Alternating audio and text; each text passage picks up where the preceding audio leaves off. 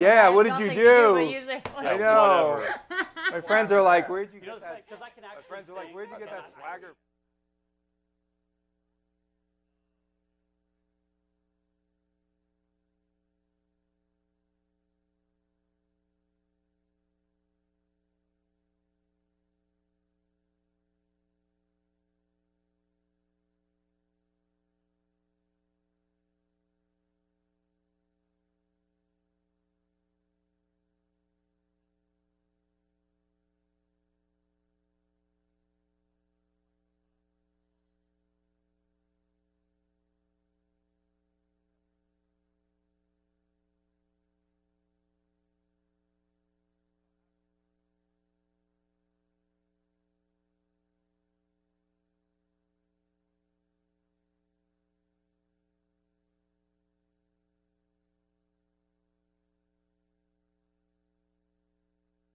You click your bubble. What's he saying? What's he saying?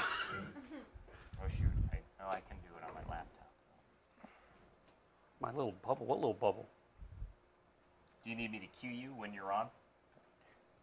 You're on. And good evening, everyone. Live from Las Vegas, this, is the Sports Adrenaline operation. Show. The Vegas Golden Knights head into the nation's capital with the Stanley Cup Final Series tied up at a game apiece. It's now a best of five series. We'll have news also from the Raider Nation coming up. UNLV, Las Vegas Aces versus Washington uh, coming up tomorrow. They're in Seattle tonight. Nice. But most of our attention, of course, will be focused on the drive for the Cup. Tony Cardasco, along with John social Castanino. Matt Gutierrez, Rick Strasser. Haley Brooks is in the house. Haley with Haley's comments. Talk to me. He never Talk seems to that me. excited about us. And uh, of course, uh, we have Luis Negretti, our production assistant, and the show is produced by Richard Giacovino. Let's start off, guys, with uh, the knighthood. Okay, start off with Should the we? knighthood. Yeah, Sounds like a good place. We're, we're now, we did this last time, and we're doing it this time. Okay, we're going to invite the Washington Capitals fans groups from uh, because they like Facebook me. onto the show. Because they like me. Well, they clearly allowed me you're into the catering, closed groups. You're catering to the crowd with Yeah. the red shirt. Yeah, So great job. No, this is my rebel red. Great job. Okay, so anyway, VGK and the Washington Capitals are tied up in the best of seven series now at one game apiece after the Caps won game two here in Las Vegas on Wednesday night.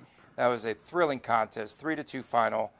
And uh, guys, let's just talk about uh, the way the series has gone thus far, and also, you know, the fact that I still believe that these two teams are absolutely even. I do. No, I, how can you disagree with that at this point? It's it's a mean, one-one 1-1 series. series, yeah. Both teams are they're they're mirroring each other. I mean, they're, they're playing very similar styles. Um, neither, I mean, aside from and we'll get to it later. Aside from the amazing save from Holtby later on, neither goaltender seems to be on their A game yet. Neither defense really seems to be on their A game yet. Um, it, it's it hasn't been the cleanest series, but you have two very similar teams, two two extremely resilient teams. John will John will tell you how much he's heard that word from from DC media up to this point. And uh, and what you have is is except for the empty netter, essentially two one goal games. It's tied one one. You're going back to DC. Well, I- and I think what stuck out, at least to me, in Game Two was uh, it kind of mirrored for me the the series with San Jose the way it started, uh, because in Game Two uh, of the San Jose series, Vegas really played into San Jose's chippiness, started to retaliate a little bit more, uh, and it ended up costing them. And uh, I, I, I'm- was actually surprised to see them do that in Game Two. Uh, there, were, there was a lot of there was a lot of uh, targeting Wilson. There was a lot of retaliation hits, and uh, it it surprised me because that's not their game. Uh, th- their game has always been bouncing back, uh, coming back, playing their game, which is speed, which is accuracy, and, and I think it threw them out of their game a little bit. Uh, did they have scoring chances? Yes, they had. They did have some great scoring opportunities. Uh, I I do think Holtby played a good game in Game Two, um, but at the same time, there were a lot of rebounds that they missed. Yep. Um, so they, I, I think they had their opportunities. I, I just think they, they got chippy and they shouldn't have. John? Um, I really enjoyed uh, Game Two. I, I, I, I've glad, enjoyed the John. series as a whole. Um, and for the Vegas fans out there that are panicking, I, I said it last night uh, on Twitter. Don't panic.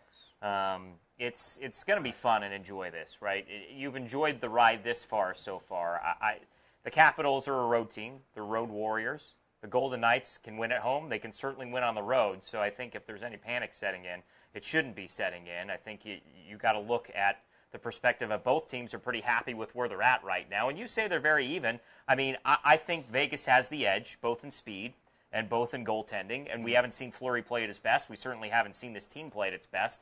And I think that's what we should be looking forward to is finally a full 60 minute effort coming in game three or in game four, hopefully game three and four. Um, and, and I think that's really going to be the difference here is who can put a full 60 minute effort together. I mean, clearly that's obvious, but um, Matt mentioned it, and, and I'll talk about it now. Resiliency is what the Capitals are all about. They've sustained injuries to Backstrom, uh, the suspensions to Wilson, and they've Kuznetsov persevered. now injured. You know. they and they've been down uh, two nothing to the Blue Jackets in the first round, and they bounced back. So it seems like there's some similar storylines where nobody picked the Capitals to win their own division. Um, nobody thought they would clearly make it as far as they did, and boy, sounds pretty familiar to what's happening in Las Vegas right now. So these are two very similar teams, and it's going to be a fight to the death, uh, Yeah. six or seven games. Now, if you have any questions, you can chime in. Uh, Haley Brooks is with us. Haley's comments. Haley, how are you? Are you enjoying this uh, Cup season? Yeah, That's. SZN, by the way, right? Cup Why is season. that? Yeah. Is that a thing? Did you make It's that a- up? Yeah. That's Tony's hit. 'cause it's a new hashtag, I guess. Cub Cup season. season. Yeah. How are things over there? Good. Um, Nicholas Colvin said he agrees with you guys, but you also need to defend yourself and teammates. So that's the thing that he said. Yeah. going To a degree, I, I agree with that, but you have to keep it within the confines of your game. You can't get out of what you do well, which is outskate people and get into those those kind of shoving matches, if you will, and, and take yourself out of your own rhythm. If it's if it's gonna if it's gonna affect the way that you play the game, then I don't think you need to go there. I mean, do do it within the game, and I think you saw that with a with a couple of, of good hits in the game. That you know, I mean, it, you talk about the Kuznetsov hit. That was a legal hit. Yep, sure It was a, it was a legal hit, Sure and was. it didn't take them out of their game at all. But it, it did impact the game. It could impact the series going forward. I, I think of anybody, interestingly, I think that uh, Marchessault has been uh, maybe taken out of his game a little, maybe a little bit uh, with all of this. And, um, you know, I, we, we could discuss the hit in game one if you want, but uh, whether that was clean or not from Wilson, um, I'm of the opinion um, that, that it was more towards the back than the front, uh, that he had time uh, to, to not follow through with the hit, all those things. Um, but I think Marchessault has been off a little bit and has been getting into the scrum a little bit more than uh, he has, and I, I, I don't think that benefits him. I've never seen uh, Gerard Gallant, and you were there last night, John, but I've never seen him so annoyed as I did in the post-game presser last night. Uh, he was really annoyed, where he never loses his cool, and I thought that there were some legitimate questions, some not legitimate, from the media last night, uh, like as far as you know your defense and how they're playing in the passing lanes and in the zone, and he wanted nothing to do with it. What was up with it? Yeah, it was interesting. I mean, it was, you know, and you got that in stretches from Gallant when the team wasn't playing well, right? And I think that's what we saw from him last night. He knew his team didn't play well. Outside of the 12, first 12 minutes in period one, uh, they got hustled in period two, and then they were playing desperation hockey in period three. So And they even went 10 minutes without a shot on goal. yeah, so the- so in the third uh, period. I, I think he was pretty overall unhappy with uh, several performances there. E- even though, again, they dominated.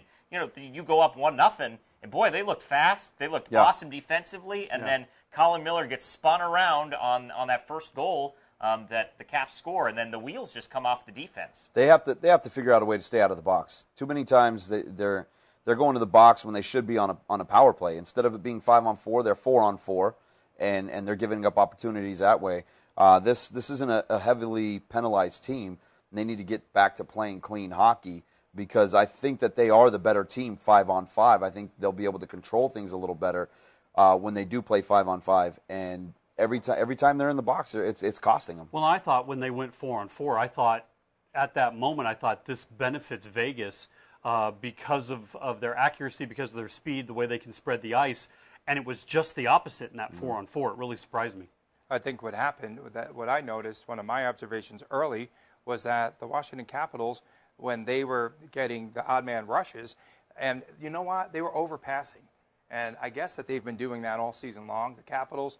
But uh, in the odd man rushes, uh, if you notice, they were taking it straight down the center of the ice, and they started to fan out a little bit more and tried to open things up and also try to play uh, play the puck off of the boards. The biggest opportunity that went awry of the night was when Vegas had a five on three advantage and couldn't, pardon the pun, capitalize. No, you're absolutely right. That's a huge, it's a huge turning point in the game. If you're the Capitals trying to nurse a one goal lead late in the well, was it midway through the third period, Yeah, you gotta and you go on a five five on on three. three. They had a three minute power play, bookend five on fours with the five on three there in the middle minute, and uh, and they, I mean, they have a, they had a couple looks, but they couldn't get any any really great looks there. They couldn't get anything sustained, and that was the difference in the game. Outside of the the the tuck shot later on. I mean, you, you have a three minute power play with, with a five on three in there. You've got to find a way to score. Power play wasn't very good last night. No. I mean, they got a power play goal, right, uh, from, uh, Col- was Colin Miller? Uh, no, Shea Theodore, excuse me. Mm-hmm. Um, Miller scoring the first goal.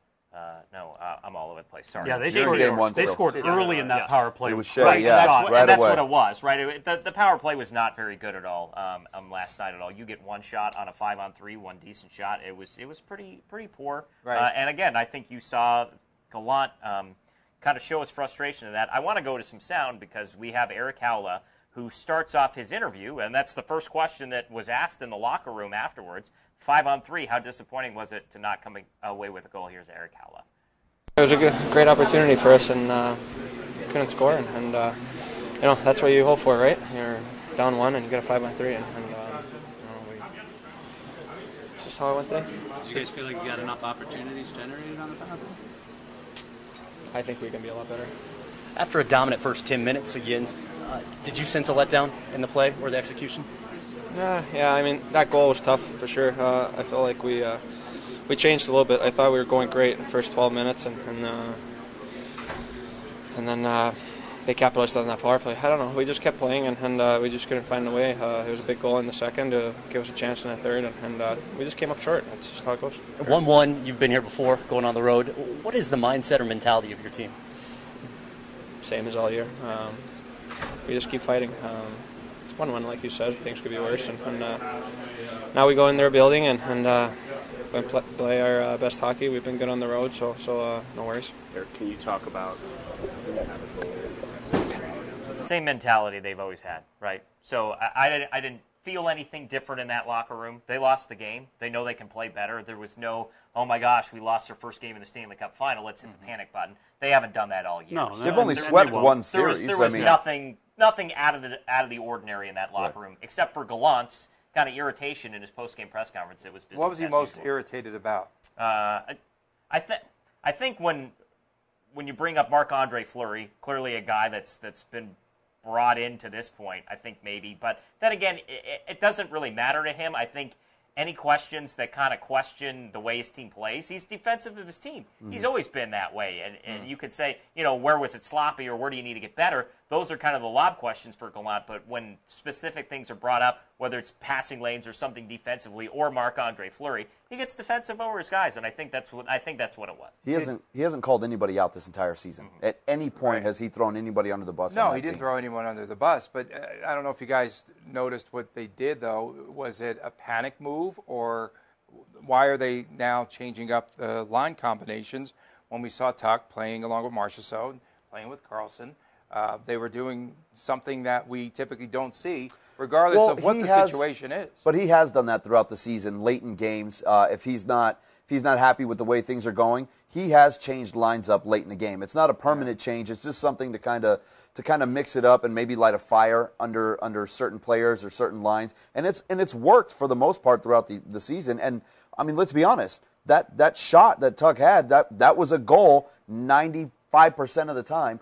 Holtby got back on it. The, the puck didn't get off the ice, and he was able to get a save. Let's- Well, that, let's the, talk the, about lu- the combination But before you do, it just it the- didn't it didn't go. And, and the interesting thing is, I mean, they, they were taken out of their game quite a bit by what Washington did. I- Absolutely. I, think this is an interesting stat. Uh, Knights had 69 shot up uh, attempts in game two, only 17 scoring chances, and of those 17, only seven were considered high danger chances. I thought they, I saw 11, but okay, so so But seven. I mean, either way, it's Yeah. it's a lot less than what Vegas is used to with the way that they pressure, uh, put pressure into the offensive zone. they weren't able to do that, and then when and then when they're playing catch up Washington has what you know what they all like to call the picket fence that that owns that neutral zone, which kind of mirrored. Um, you remember Tony early in the season when they ran into that. I think for the first time when they were in New York against the Islanders when they were behind and they had trouble in the neutral They zone, hard time. They getting things into the the, blue line. offensive zone. Absolutely. And, and and I think I think that happened a little bit last night, and they've got to get more of those scoring chances. I just think I think Washington had too many odd man rushes, and that is going to, you know, that's going to hurt. I think the Golden Knights later on Well, it- in this series. It definitely could because you have breakaways. You have a two on one. They had a three on two a couple times, and they just couldn't. They just couldn't knock in the puck. But let me let's talk about uh, Tuch Matt. Face-offs. No, we don't. No, wanna he, talk we about can't talk about that yet. because the Knights won those. Uh, So yeah, that's no, his argument. So, So they- move on they from lost the game. It's been a lot calmer tonight, guys. So, It's not nice. so Tuch, uh, that's because oh, well, if VGK were up two nothing. Of course, I'd be going through fanboy mania. But Tuch robbed by Holtby. We talked about that with a couple of minutes uh, to go in the game, um, and somehow that was just an unbelievable paddle save, you know, for for the goaltender. uh, Stop the for, puck cold for Holtby. Everyone thought it was in. I'm watching the game on TV, and everyone behind the net is they're all standing up. Oh, yeah. Holtby, the uh, one-armed bandit, right? Uh, and it was just to me uh, a play that wasn't slow in developing. And when you saw Tuch, I mean, he put everything into that shot. And Yeah. that's what the most amazing part of the save. They're calling it the save. Yeah. Like in the Washington media today, I'm, I read all the stories. I listened to the radio uh, reports today, and every, that's all people are talking about. It'll if be the Washington save goes if they go on to win. If they go on Otherwise, to win it's a this, footnote. this is going to be one of the legendary saves, I think, in NHL history that could turn around. It's definitely would turn around a series. Well, it was a fantastic save. I mean, it's, it's a reactionary a move save, by a goalie save, yeah. when he gets beat save. going to the No, other was side one on the one. pass. It's one one, Tony. Yeah, I think the It's Cap, not the save until they win the cup. It's Caps one fans one. are going to make a, a way bigger deal out of this. Clearly, I think Vegas, like I said, business as usual. Now we didn't get Alex Tuch in the locker room. Uh, he wasn't in there, at least that I saw, so we couldn't talk to him. You know, to kind of see his emotion uh, after not putting that one in the net. But we talked to some Capitals fans, Matt and I did afterwards, and uh, obviously that that they're thrilled um, with the save. Greatest save in Capitals history when you feel like it's the context and it's their first ever Stanley Cup win, uh, which took them 44 years, and it took the Golden Knights uh, One day. 300 days ish um, or, or so. Yeah. So I mean, they've been waiting a long time for this. But Caps fans, at least the ones that we talk to, very respectful of Vegas. They know this is going to be a, a grind 'em out series, so they're not making any assumptions. They don't want to come here for Game Seven. Right. They've already made that clear. They want no part of coming back to Vegas for Game Seven. Let's go to some comments, and we've got uh, Some very, Haley. very good questions, yeah. Haley, We do.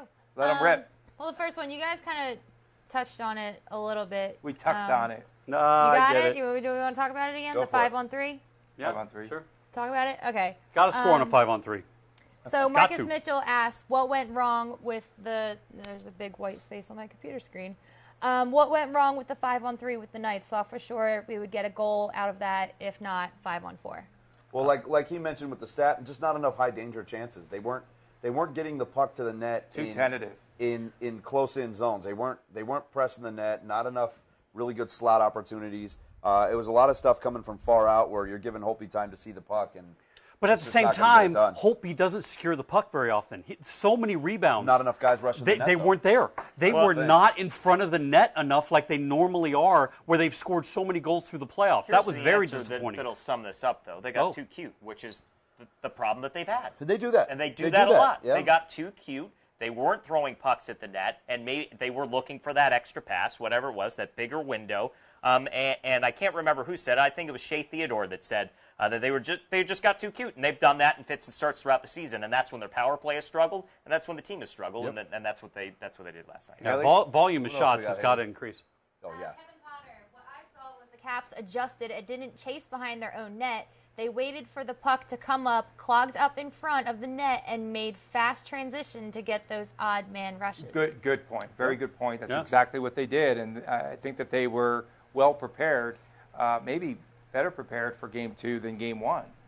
Uh, the Capitals, as far as their scouting. Not the first ten minutes. I mean, that was uh, I thought Yeah, it was yeah, yeah. uh, It was a game typical- set match Golden Knights. Yeah, but, it was a uh, typical after that goal. start But we've for seen VGK. we've seen all season long. Gallant has had the ability, game to game, to adjust to whatever style the other team is playing. Uh, first game, I think, is kind of a wash. Both teams were a little out of sorts, and, and the game got away from both of them. It was a lot of back and forth and, and kind of a wide open game. Most Um, lead changes in, in right, the history four lead of a. Stanley Cup lead final changes, game. yeah. Yesterday, you saw things settle down a little bit, but it, you know, the the, the Capitals were, were able to adjust a little better and play more to what they wanted to do than what the Knights were going to do. I think in Game Three, you're going to see Gallant make the necessary adjustments, and I think you see the Knights come out and do what they've done this entire season, especially in the postseason after a loss, which is rebound. I still think, I, I have to believe that Washington is in the head of the Golden Knights as far as No, their heads being on the swivel.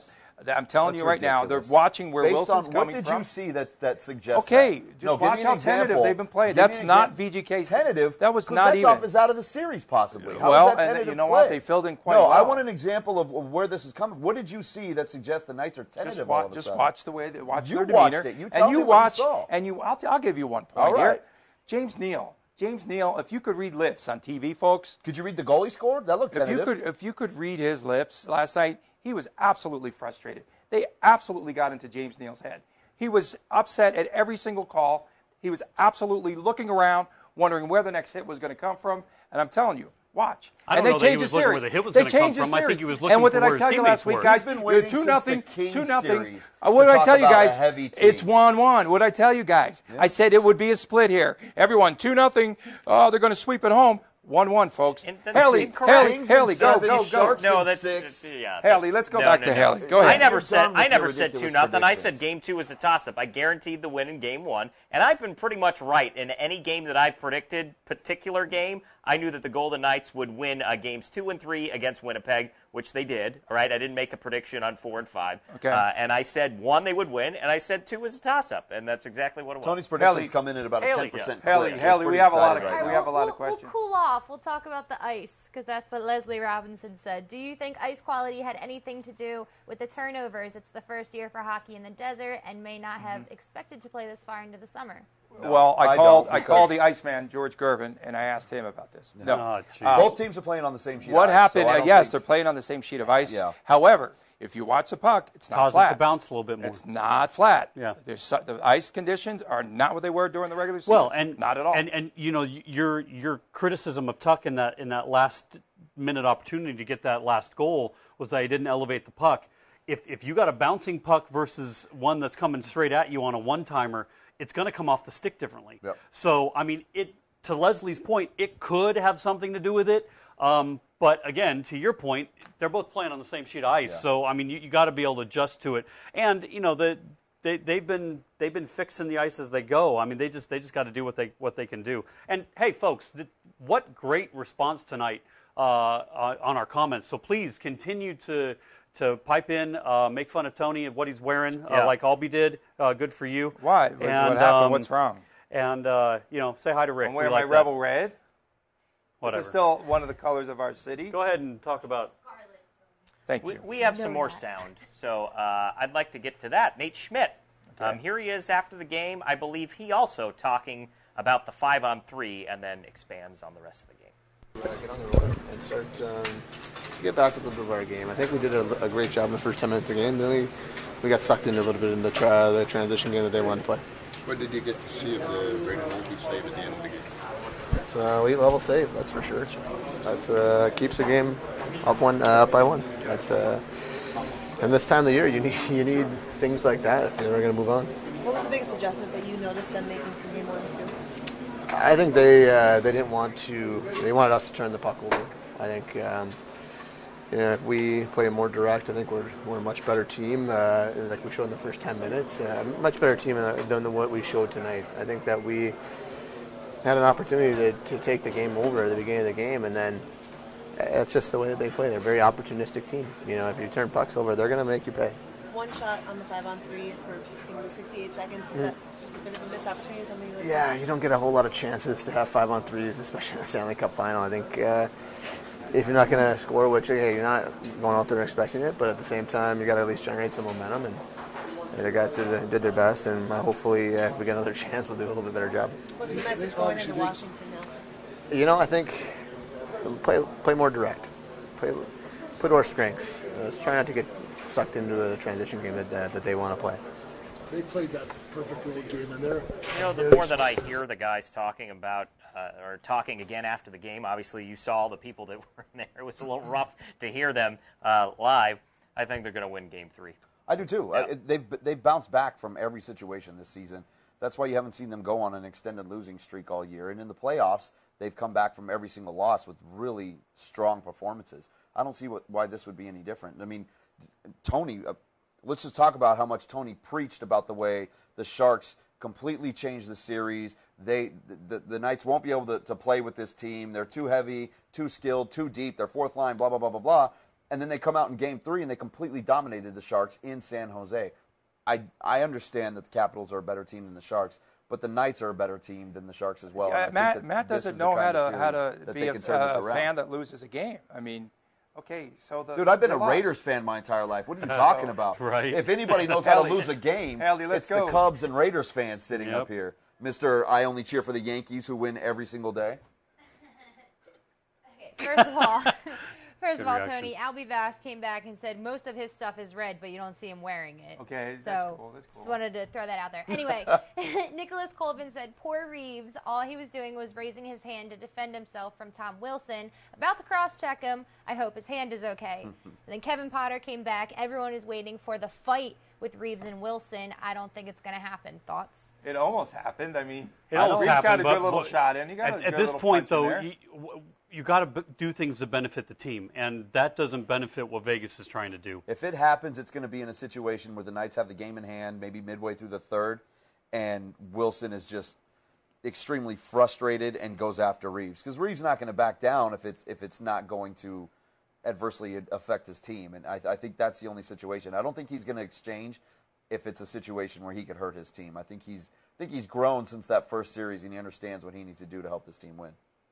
Kuznetsov uh, day to day. I don't know if you mentioned that, but that was uh, official, so he's probably going to be a game time decision for game three. But looked like, I mean, he was clutching his hand. That's every hockey injury, That- day to that might- day. Yeah, that might be. That If might, you lost your arm, you'd be day to day. Right, in he might have broke his wrist, and that'd be day to day. Yeah. I So mean, Brady seriously. McNabb on the hit, in case you missed it, looked like at first as though he went up high, right?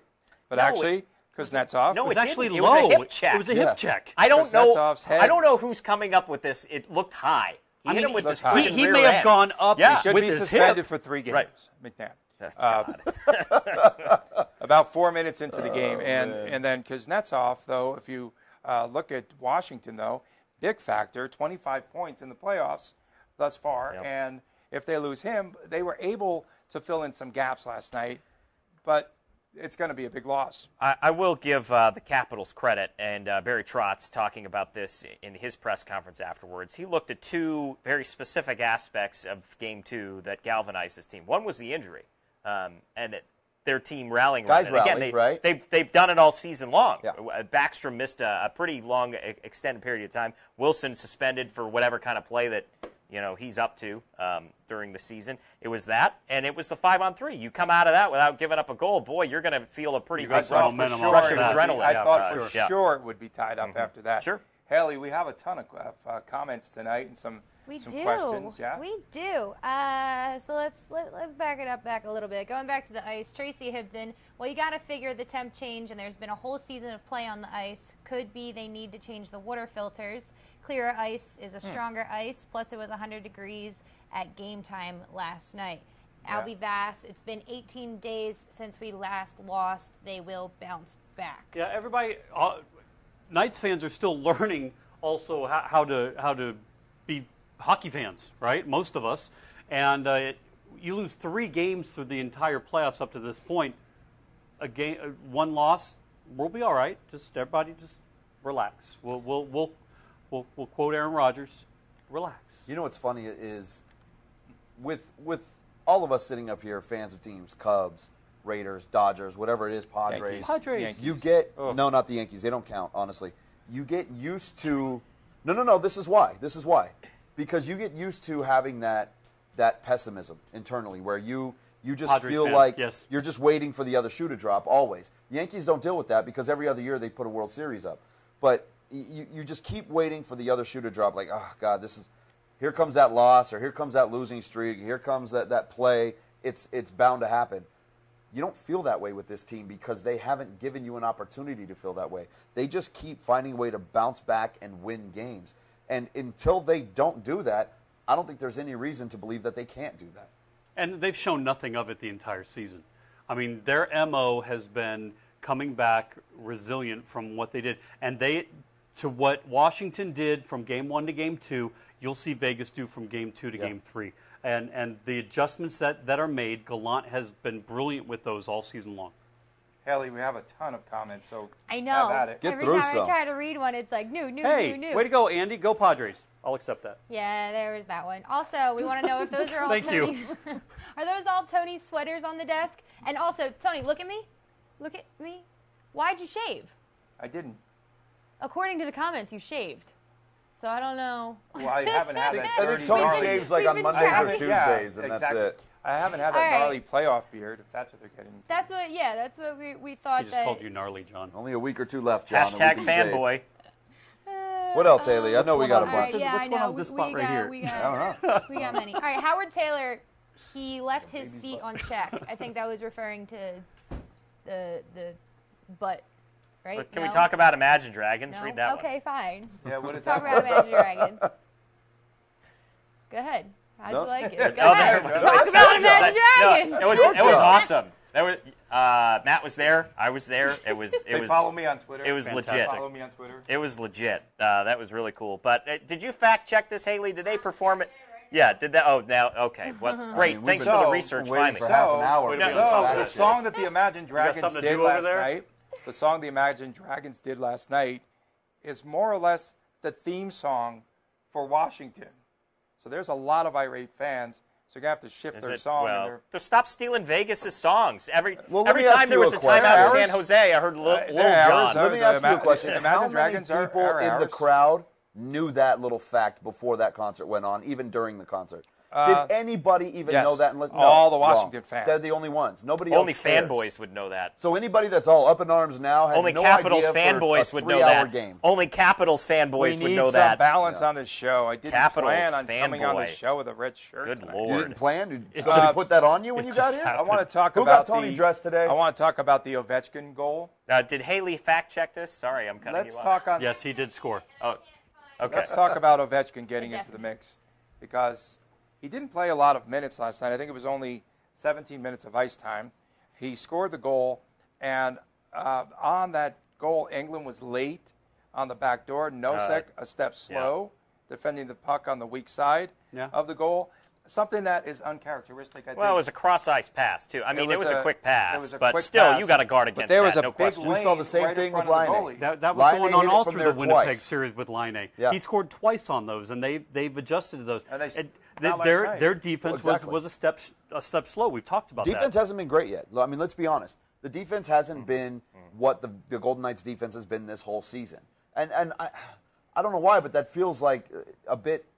I I feel okay with that because you know that they can play that much better. These are close games without Vegas playing well defensively at all. If they get back to doing what they do well, I think that they can turn the series around pretty Did you easily. see Did you see Marchessault's comments immediately after the game um, on NBC's coverage? Uh, you know, they, they asked him about how they played, and he was he was very straightforward with how they didn't play well and how things would absolutely be different in Game Three. And I've no no nothing to to make me think otherwise. Yeah. If Holtby doesn't come up with that save, probably Right, overtime. We win. Well, no, but James Neal's uh, play might have been the showstopper of the night. I mean, as far as him scoring, tapping the puck to himself, Very cool. uh, you know, and, and scoring the goal. Yeah. Which is why to call Holtby save the save right It now It is the save. It's ridiculous It because that goal save. could have been the goal up to this point. Well, until until, I, they I go will on say and win that the cup, that it's not the save. right save. now. It is at this point of the series. It is the save. It's one one. So I mean, I'm not going to go crazy. No, I agree with that, It's a great it save, and it and it it saved them the game quite literally, but long way to go, man. Long way to go. Someone was talking about um, someone was talking about uh, Backstrom being out and like how they uh, they compensated in Washington, Yeah. right? Yeah. So Lars Eller played a really good game last night, Mm-hmm. filling in. He might have to do this now, probably. Uh, if because Kuznetsov, if he comes back, I don't know if he'll be back for the next game. Maybe in a couple of games. Just depends on the severity of, of think a his lot of injury. it has to do with what you you know he wants to play from a game three result. Yeah, you know what he wants exactly, and you know you know that he wants to play.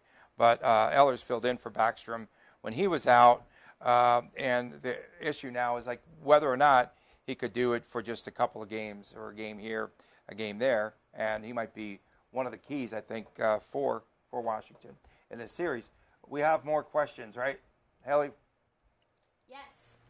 Yes. Tracy Hibden, Ovechkin, defense. You can't play defense when standing next to the cherry tree waiting to pick. That's not a question, but Yeah, no. Well, she makes the point, and it's I, I, I think media day, right? Uh, T-Mobile Arena, which was really cool um, a few days ago. I can't even remember when that was. On Monday, it was on uh, Memorial Day, Mhm. um, or no, it was Sunday. Sunday. Excuse me. Uh, but I, I think I heard like four Golden Knights players saying we can't leave Ovechkin on the left side or in the left circle open to shoot, and, And that's did. exactly what they did. Yeah, that's his spot. That is Yeah. his But that Oh, yeah. shows you how poorly Absolutely. they're playing defensively. They're Yeah. Right. they're not in the game defensively yet, and they need they need to get back to that. And I think I think it's going to be a huge point of emphasis in that locker room going into game three. Well, that the microcosm of that was was that four on four goal they got they gave up because they were totally out of sorts and got completely out of position um, with with their defensive matchups uh, Mm-hmm. in the four on four because they're supposed to mark up every man um, in in the defensive zone and, and three men were on one guy. Yeah. So you know it was kind of how it went all night. Uh, first line quiet. I mean, I'll admit that Capitals played the first line pretty Very well. quiet, um, yeah. But face-offs, Tony, I do want to talk about this. Me too. Golden Why? Knights dominate face-offs. not a fact- you know- dominate. you know 38 to 27. You know who did not win one though? Hold on, I want to hear that stat Carlson. again about faceoffs. What, Carlson did not win a faceoff. yeah, what, did, what does Don say? Cherry say about face-offs? Did you say see his face-offs? jacket last night? No, I didn't see his jacket. Just- what does he say about Why face-offs? can't we get Give John, us your Don famous Cherry? quote. No, no more Don Cherry quotes. No, it doesn't until help the Capitals argument. start winning No. faceoffs again. my narrative. So, No. Game Three's in DC on Sunday, five uh, Saturday rather, at five o'clock here Pacific time. Why are they not opening up T-Mobile Guys, Arena? Yeah, there we go. team Holy mobile. cow. Yes, Come on. the Caps drew over fourteen thousand Final thoughts? fans. Are we in final thoughts? Well, I'm not going to have any final thoughts Yeah. tonight because I'm laying them all out on the line. Other than Don Cherry, I'll just say Don Cherry at the end. but why won't they open up T-Mobile? Everyone's going to be outside, 100 plus degrees in Toshiba Plaza. It's going to be hot, gnarly, and Doesn't make any sense. It makes zero sense. People on social media were saying that they witnessed people passing out. I uh, saw that. during I did game see that two. today, yeah. um, that there was only one uh, like water little- truck or right, there's no you know- restrooms out there? Yeah, Like, it, well, it what seemed happens like is a bit of everybody starts debacle. drinking. They think they're okay and hydrated. You obviously alcohol dehydrates you, and, and you're gonna you're gonna fall out. You're on cement. I mean, it's not you know, it's not a grassy knoll with shade. I mean, it's No, you know, it's, uh, definitely not pretty that. brutal out there. So it doesn't make any sense. Right? You take the money, ten bucks a person, um, a- a- and anybody can go in there and you sell concessions. I just, I, you know, I don't. So is it or because do of don't something, get it. or do opening the something for the fans like they've done all year with, with this with the 5149 raffle. Ten dollars to get in. Five of that goes to the to the Golden Knights Foundation, and five goes to a raffle So at the th- end. Let me I mean, ask you though: why is not this because something they like don't want to pay the expenses to open up the building, which is it's very expensive to do that, as we know. But yet, I You're went to the the, I think I went to they've the made draft a little party. bit of money in I the, went in to the the draft postseason. party, Have you and right seen now what there's the more tickets are people. going for? There's more people in this studio than were at the draft party uh, at the beginning of the season. uh, talked with somebody that works at the arena that I see on a daily basis, and I said, "Hey, what's the deal? Why are they not opening the arena up?" And he said, "Nobody said anything about it." He said, "That's what he said." Except for the entire and, city. and the employees are like wondering, "Hey, am I going to be able to come in?" So he didn't really say that it was an expense thing. He just said it hasn't really been discussed, and I think that's just It something needs that's a problem. And it goes back to the 24 but it goes back to the signage, right? It's just Yeah. people are kind Some of planning. oblivious to Some it. planning. It's oblivious. Like, oh, do you think we should open up the arena? Like maybe they've literally never had that conversation, and and they're going to wait until uh, I don't know I, tomorrow. th- I think it's a first, I a hope so. first I year really hope mistake. so. I mean, every Right. year in the playoffs, I mean, it, it seems to be the trend. When when you get to the finals, I mean, look what Nashville did last year uh, with their road games. That place was packed and raucous. I mean, why sh- why wouldn't we do that? It doesn't why make any wouldn't sense. and why wouldn't you want to be there? Yeah. If they open that arena, who doesn't want to be there to watch the game? You're you're basically at the game. Well, I'll tell you who wouldn't be Like you there. would be if it they wouldn't were- if be they were all on of the the people who are normally sitting low that, that spend all That's the right, money on the their real tickets. fans. It would give other It people an opportunity to get into the arena People and go to the have practice the atmosphere. facility The and wait real hours and can't afford Bring- a ticket. bring the drum line in, bring the- Open the T-Mobile Arena. Haley, what do you think, man? Should they open T-Mobile? Well, yeah. Okay.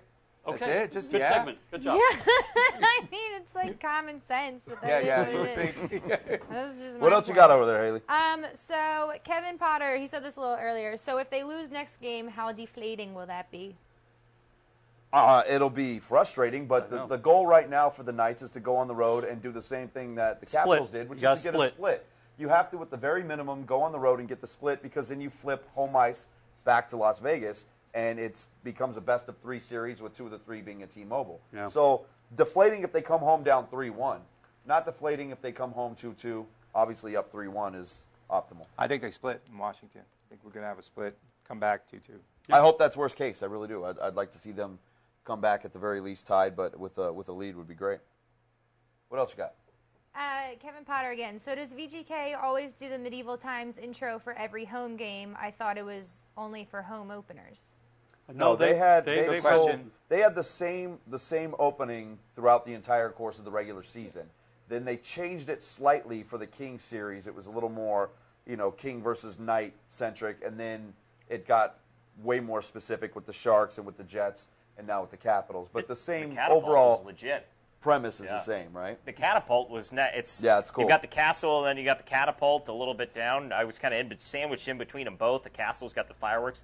The catapult's cool though. I Yeah, mean, that, yeah, that was had awesome. some Oh, that got- had some weight on there. Waiting I to mean, see it- something actually in it. It was Sean, really neat. Tell us about uh, the media. Uh, we know that media have come from far and Yeah. wide, uh, but where is the auxiliary media sitting now? Because you can't fit them all upstairs like we see during the course of the regular season. What are the accommodations? It's you know like? what it's well one it's been interesting because there's people everywhere. Uh, I was talking with one of the uh, the uh, sports information people for the angle. Knights communication people. About a thousand uh, credentialed, not not full on media members, but you're talking about tech people and uh, AV people from all the networks. You've got sets for Sports Center. You've got NHL uh, network indoors and outdoors. You've got NBC. Um, you've got local networks that are all setting up, so there's people everywhere. Um, so the media's taking up the standing room back by the castle. So there's no standing room behind where the castle is. Typically, they'd have that full service, all you can eat, all you can drink back there. That's kind of the party area. And now it's three tiers of seating. So you have one level, which is where the standing room is. Then they put up a scaffold for two more levels. So it's about 300 me- maybe or so media members that are inside the arena. That's why numbers have been down. Yeah. If you listen to attendance Right, numbers, and that's they've exactly taken away why. a lot of the standing room only, Right. Mm-hmm. so those numbers have gone down. I actually wondered that. Yeah. Because they announced they announced uh, 17-5-ish 17-5, right now. Yeah, when in the playoffs it, it's been upwards of 18-5. Right, so it's about a couple hundred. we have more sound, right? Yeah, we do. This is a bit of a, a bit of a right turn here, but Gary Bettman had uh, uh, addressed the media uh, before Game One, uh, before the series opened. Had a lot of things to talk about. Concussions, really. Uh, I mean, it's amusing. They're taking the NFL approach to concussions, just denying any link between concussions and CTE. That's going to cost them hundreds of millions of dollars at some point. And They're in kind of a state of denial. It was really amusing. And there's a media member that I was told that anywhere Bettman goes, this woman is asking the same question about, are you looking at the link between concussions and CTE and what's your research? And he gives her the same answer. But he also had something to say about uh, sports betting uh, becoming uh, nationwide now, and they're taking the NBA approach. Here's Gary Bettman talking about sports betting across the country.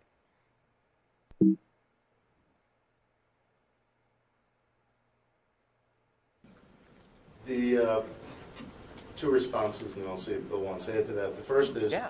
we're looking for consistency. Whether that can be done federally, which would make it easier to make sure the rules of the game, uh, the types of bets that are being placed, how things are being conducted, we'd like consistency, and we'd like not to have it vary state by state. Now, if all the states want to come together and do the same thing, that would be the equivalent of federal legislation, uh, and that's something that we're focused on. Uh, You know, we have, I'm not sure I buy the term integrity fee. Uh, I don't worry about the integrity of our players. I think, though, if you're going to allocate for yourself to run a business on our intellectual property and the performance of our athletes and the platform that we put on for our games, we're entitled to be involved in that. Other than that. Uh, so, Bettman, to sum it up, wants federal oversight, really, and if the states adopt something, he'd like the states to adopt everything. And he's saying what the NBA won't say. The NBA calls it an integrity fee. Really, it's really it's a tip. It's a, great tip.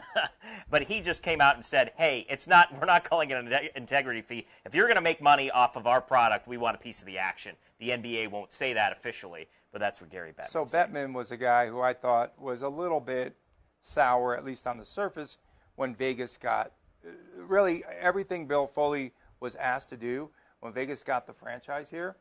Foley did right, like he kind of put his money where his mouth was at. You have to put up all this money if you want a team. You have to prove to me that Vegas can support a team. All this other stuff, and literally, Bill Foley had to jump through amazing hoops. So. Has he kind of now? I feel like he's on the bandwagon, just like the rest Well, of you guys. no, I- I feel don't- like I feel like he's on the bandwagon. well, you're negative, Nelly. I, I don't. I think Bettman wanted the NHL here. I mean, I, I think he did quite a bit to get the NHL here. And uh, I mean, if if think about what the, I mean, you you couldn't predict what happened, but what the Vegas market does for the league has been has been huge. And I think Bettman saw that beforehand. Uh, he feels vindicated, uh, to your point, and that's he talked about it at length. Uh, again, media availability before Game One.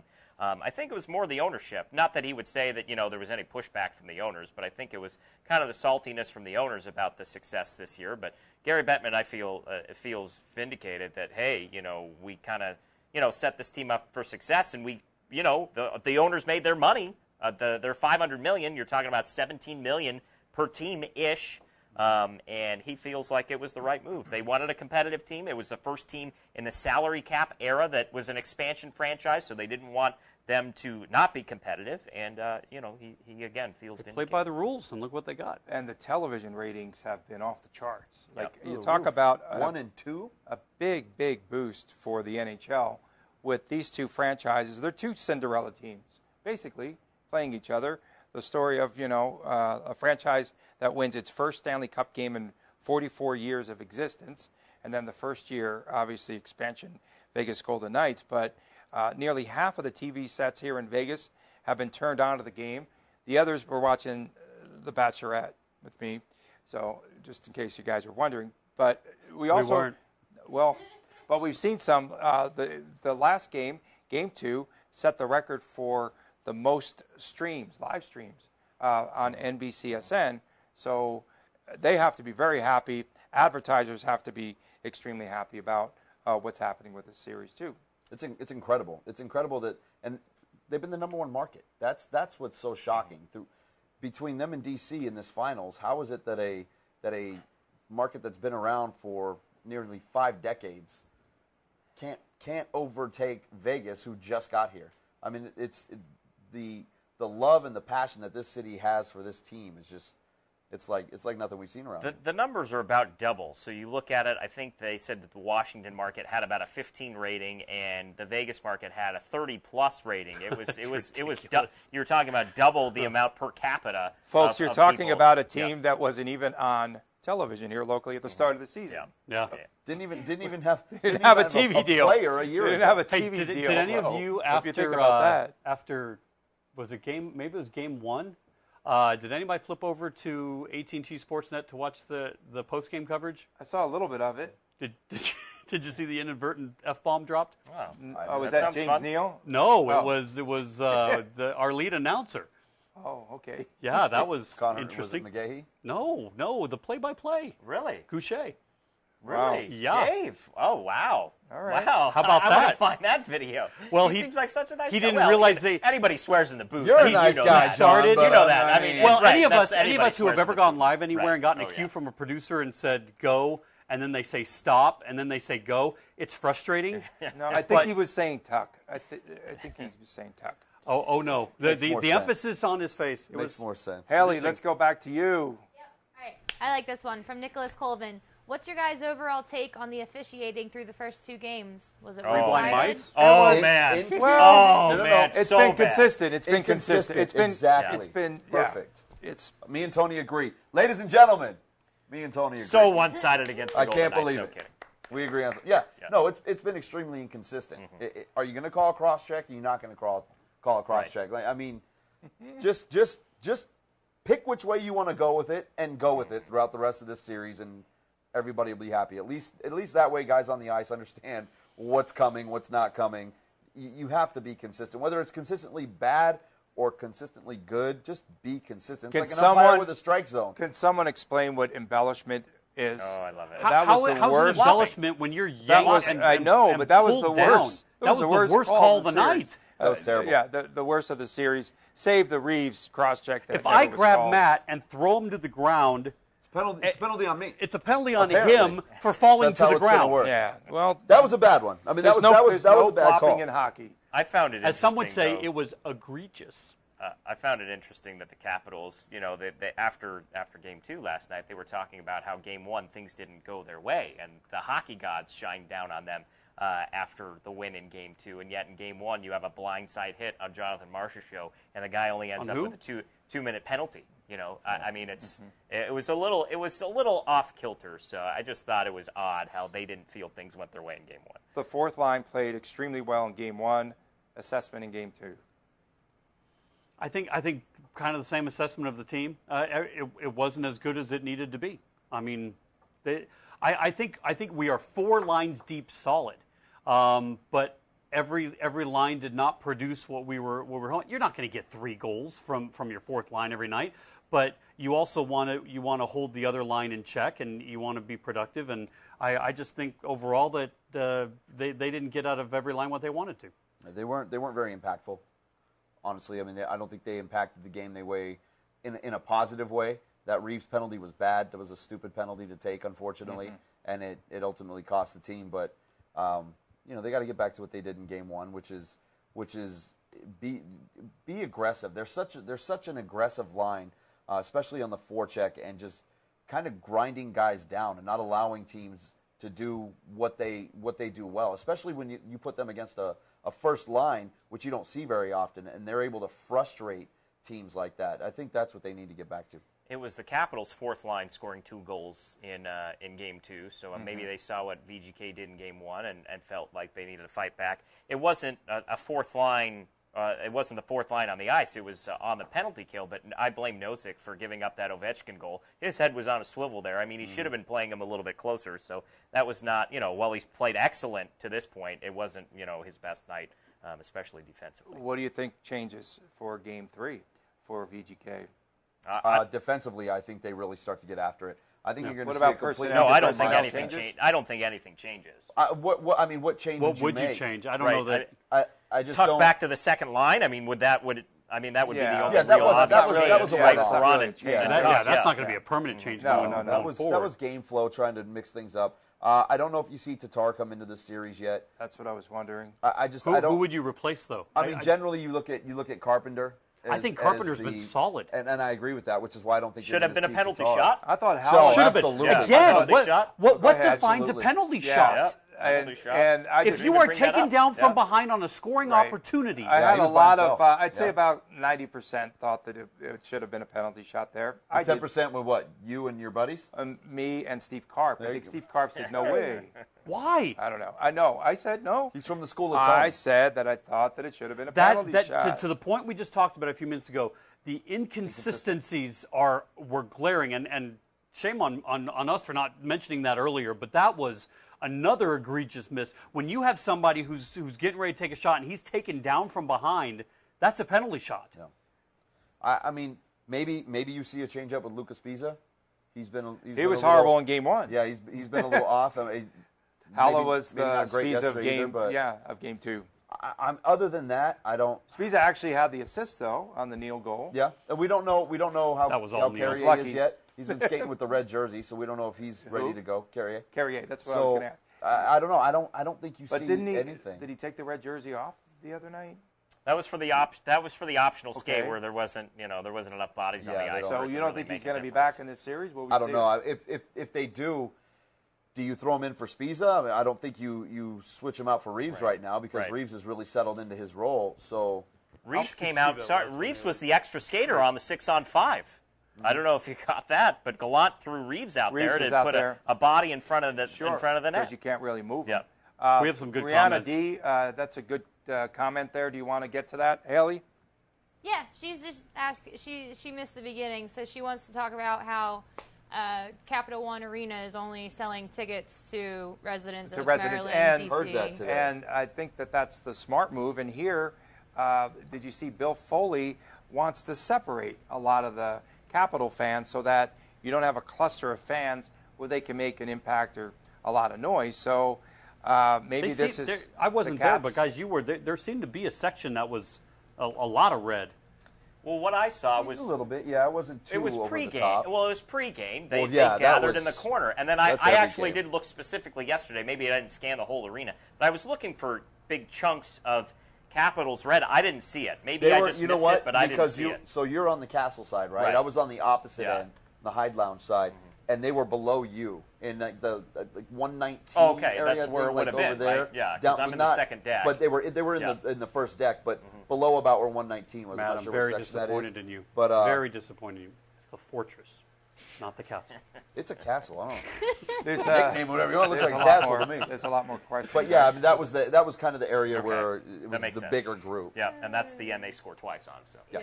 I like this one from Omar Sanchez. Yes. My dad just left the house during this one point NBA final game and said, I didn't realize how boring the NBA was compared to the NHL. How about that? It's been a bad season for the NBA. I mean, it doesn't matter if it is a How last second shot. I It mean, just- to, to get off topic here from hockey for a minute, how irrelevant is the NBA? Has the NBA season become? This is the fourth year in a row. It's Cavs Warriors, and again, you could have predicted it day one. Yeah, Cavs had a couple of close calls. Warriors with a game seven here against against Houston. It's the same two teams. The NBA has become the most predictable league on the planet. It's I can't watch it.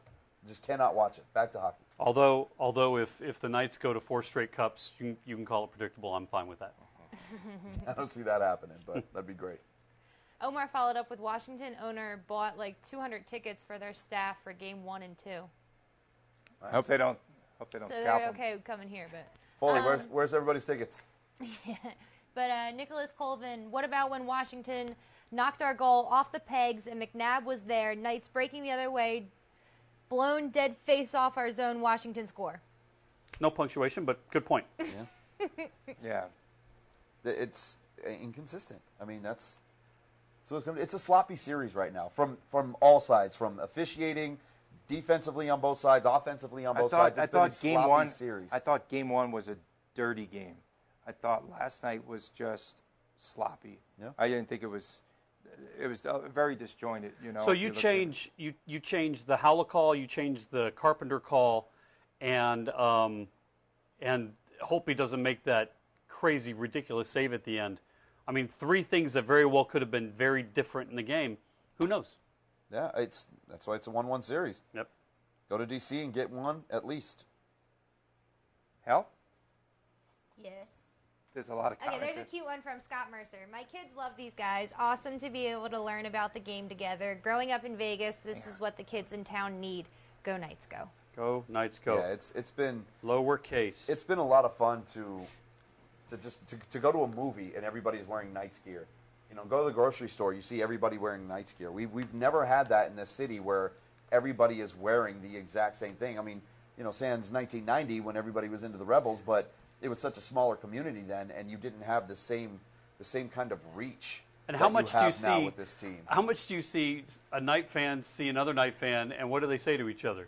Go Knights, go! go. Knights, go! I mean, Yeah. it's, it's become our roll tide, you know, yeah. which, which is really cool. It's fun. It's a lot of fun. It's exactly what this community has been missing forever. And it's great to finally have that here. Yeah. Everybody's wearing gear. Everybody's got flags on their vehicles. Everybody has stickers in the windows. You see it everywhere. It's amazing.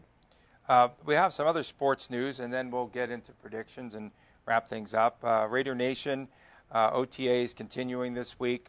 Uh, the players can't believe all the energy that Jon Gruden brings. Derek Carr is saying this week that man has like 20 cups of coffee, I guess, because he has another level that he takes it to, and he really hasn't stopped yet. And I think that there's uh, there's going to be some chemistry, I think, between those two, uh, Matt, between Gruden and Derek Carr, and that uh, they're really working closely together. And I think that Gruden's really pushing Carr right now to, to the max. Gruden's a quarterback guy. He played quarterback. in the, in the Super Bowl against the Raiders when he coached Tampa, he was the scout team quarterback that week to to to uh, basically be Rich Gannon in practice and let the defense know what, what they were going to do. He is a quarterback guy, and Derek Carr is a he's a grinder like Gruden. He likes to get in there early. He stays late. He's a film rat. He's a gym rat. He loves to be around the facility, and, and Gruden is the perfect coach for him. I think these guys are going to work great together, and I think you're really going to see Carr's game elevated, not just not just stat wise, and yeah, he's throwing for more touchdowns thing, just as a quarterback, the way that he sees the game, the way that he reads a defense, uh, you're going to see his footwork improve. You're going to see field vision improve. This is going to be great for Derek Carr. And these, I think these two, for the next 10 years, are going to be inseparable. We have some UNLV athletics uh, news to report. UNLV basketball today. It was announced that the Rebels and the University of Cincinnati will be playing a home and home starting in December here in Las Vegas. What? Yeah. Mick Cronin? Yeah. And the What? Rebels. That makes no sense to The- me at all. Wow. The Rebels. Apparently, the, the UNLV Rebels really loves rubbing salt in their Oh own Oh my wounds. gosh. The Rebels. Let's non- just, let's just pour some That more. guy in there. blows home off home with Texas UNLV Tech, like too? he does? Yeah, that's the Rebels. hell? Rebels non-conference That's the first now. I heard of it. It's now stunning. shapes up It's uh, with games. They play games here against. What the- BYU at T-Mobile. They'll be on the road at Illinois. Come on UNLV will be playing in the Diamond Head Classic in Oh, Hawaii with Colorado and Rhode Island and St. Mary's. Hawaii, Welcome Charlotte. I think Bucknell is also Yeah, just- in that uh, field. And that's there's a big recruit here on campus uh, this week. Christian Brown arrived today. He's that five-star recruit from South Carolina that we've talked about. Uh, he's a swingman, about six six, and uh, he's narrowed it down to seven schools. So, Is that all? but again, this is one of the players that would be part of the class of 2019 coming in. UNLV football, nine uh, Rebels were named today on the Athlon preseason All Mountain West Conference team. Lexington Thomas selected to the first team. Yes. All right. Are you guys Bunch watching the guys? Are you guys watching That'll get it done. that team up north? So Cody mm. No, and because Caleb not We don't Martin. wanna talk another about six them. months. Cody and Caleb Martin. Oh my God. They announced that They're they're, coming But it's returning another to down year for UNLV anyway. They, I mean, they, they're going they to blow the announced doors a, a Rebels. pre preseason top ten for for They're college in the top five. They they Yeah. put them They have number to be. six. Well, they Tony, have to be the number Martin five. Twins weren't coming back, they were still going to sweep UNLV. That Yeah. it doesn't. They're the So- best team in the league. Now they're the best team in the league. It, it, Best team in the it's West. irrelevant. Well, They're- they're so they have the two Martins coming back. Jordan Can we Caroline. stop talking about this? Jordan Cares about Caroline Reno. over the weekend, he said that he'll be back now, so he didn't hire an Hey, agent. Hey, Wolfpack. Hey. Then there's moving on. also there's I think five or six transfers that all averaged in double figures scoring last Wait. year, and a 6'10 power forward Tony, this is- from uh, it's Napa Reno. Prolific Prep Reno. in California, Jordan Brown, the McDonald's All American, Oh my the five star that's headed to Reno. But uh, I don't know why we need to bring this up. It seems like it's. This I is- guess it's about time, right? They've taken. No, I don't wanna- to I the mean- Reno Reno Gazette. for Why do we have to- Should be decades. talking about We this? should I mean, talking about the Reno. Rebel We program don't want is, to talk about is not very good right now. There- Yeah. There's no reason about- why can they shouldn't be that good. exist- sports going on right now. Yeah. Hey, let's go to Luis. I want to set up our boy Luis Negretti. Uh, excuse me, Negrete. Sorry, Luis. I was say, saying. Uh, Is he going to talk about the lights again? Hey, Luis works hard behind the cameras, and when he has a story, we want to hype it up. So we want some comments. You guys have been great all day. Luis doing a story on the home opener for the Las Vegas Aces, uh, and I haven't watched it yet. I'm assuming it's going to be fantastic. Luis, take it away. fantastic, but it's gonna be all right. Come on, he set you up. Set it up. So before the. Aces uh, flew out to Seattle to face uh, the Storm again for the second time in seven days, we were able to cover their home opener at the Mandalay Event Center, which was really, uh, it was shocking. It was a really good atmosphere, and here is more about it. The Aces opened up their home season at the Mandalay Event Center by hosting Bucket? fellow Western Conference opponent, the Seattle Storm. Although there wasn't an Aces victory, the home opener for the fourth professional team in Vegas in the last two years was nothing short from exciting. Despite the 105 to 98 loss, 2018 number one draft pick, A'ja Wilson had a season high of 27 points. I mean, we just kept fighting, kept pushing, and Coach Coach Bill just told us, you know, don't don't lay down, don't give up, and that's that's a part of us. That's built inside of us as competitors. So uh, it wasn't a doubt in my mind that we it wasn't going to be a good game at all. So for us to come out and really fight like that, I think it's something special and something. It's definitely is the future of, this team. WNBA President Lisa Borders was in attendance at the Aces regular season home opener and gave us an insight why the WNBA picked Vegas. Las Vegas can support not only sports in general, but women's basketball specifically. So when we looked at markets across the country where we wanted to have a tremendous team, Ace is Vegas was a very natural right place by the numbers. 60 to 32. Yeah, and they're home tomorrow night. All right, hit it, Luis. Oh, Uh, sorry. well, as, you- as you said, Rick, the Aces are down 26 right now at halftime. Yeah, that's but uh, hopefully they bounce back tomorrow night. And just a quick fact: the Aces' average age of average, I mean, what you, Average age? Their average age is 24, so I think there's potential within the next couple years. So Well, you're and- saying and- the atmosphere was really cool. I, am just curious because I wasn't there. I'm, Yeah, it, it was. Uh, there was over four thousand people. Uh, there's a lot of sections that were closed, but uh, it just felt like it was almost sold out. Cool. Yeah, great atmosphere. They did it up right. Uh, Boyz II Men sang the national anthem was fantastic. Uh, the Jabbawockeez performed at, at halftime, which was also great. Um, you know, uh, like like you said, and and and great job. But uh, it's a young team, and you just got Kayla McBride and Kelsey Plum back from their overseas teams. They they'd only been back like two days before their home opener, and um, you know, it's a good product. You know, it, it's it's fun to watch. So uh, really cool. Bring them out to see uh, tomorrow night. Courtside, opposite side of the court from the benches, they've got what look like poker tables. Yeah, they're up, blackjack tables. Blackjack tables, Yeah. yeah. Set up, and uh, there's a handful of seats on them. You can buy the seats, uh, buy the tables per game or for the season, and it just it just just a cool Vegas tie-in uh, to give you something different. Sitting courtside, it'd be what, what what's behind you know Gucci Row at the Thomas and Mack. Somebody give Luis a comment, please. He worked hard on that story. I'm waiting for the comments to roll in. Oh, look at this. Luis is awesome. That was a terrific story. Thank you for that comment. Uh, Tracy. Yeah, Tracy. There we go. Wait, would rather have. Okay. well, all right. Still, that was a positive for you, Luis. Well, uh, thank you for that story. Haley, give us uh, some uh, some comments. Oh, you want me to read the most recent comment Yeah. that John didn't want to read? No, Tracy was given. Tracy is a man, by the way. Luis is awesome. Yeah, that's what Tracy said. that's journalism. Yeah. Oh man, way to spin it, John. Uh, did we talk about Omar? No. So Omar Sanchez said to Tony, "It's adrenaline LV, not adrenaline Reno." Thank you. Tony. Okay, Omar, we're just trying to cover. Oh, whatever. We're just trying to cover all the sports, not only here, but what's going to impact our local market Omar about In the and the Aces. Mountain West in eight months. I don't think that. I think that's going to impact our Top local five. market. Reno was going to win the Mountain West anyways. How did Yeah, how but did those they're guys top- coming back? don't feed They're into top it. five. So now the perennial Rebels will lose by Final 40 Four. instead of 20. Oh, Perennial my Final God. Four Haley, continue. for Omar. No, whatever you want. Oh yeah, sure. They're loaded. it was fun, but we need to win and no blowouts. The game was only fun for the first and last five minutes. What do y'all think about the Buckeyes? Buckets.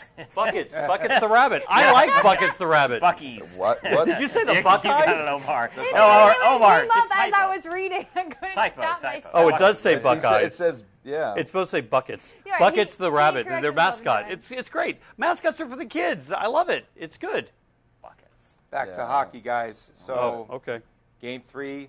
Any predictions? And then, are you still sticking with your original predictions for the series? My prediction was Oh, Knights I- in five I won't say anything. until they lose two games.